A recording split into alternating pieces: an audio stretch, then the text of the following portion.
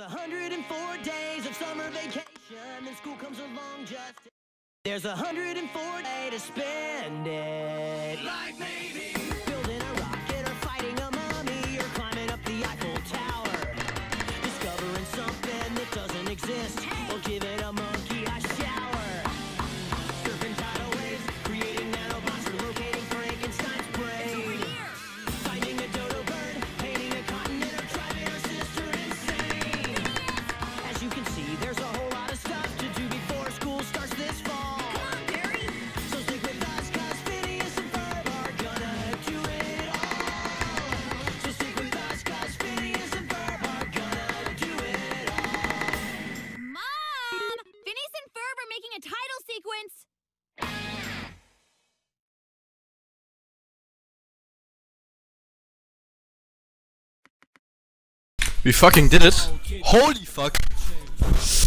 Oh yeah.